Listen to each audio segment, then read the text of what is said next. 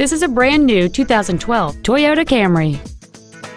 It features a 2.5-liter four-cylinder engine and an automatic transmission. Features include a low tire pressure indicator, traction control and stability control systems, cruise control, an engine immobilizer theft deterrent system, halogen headlights, an anti-lock braking system, side impact airbags, latch-ready child seat anchors, a rear window defroster, and folding rear seats. Contact us today to arrange your test drive.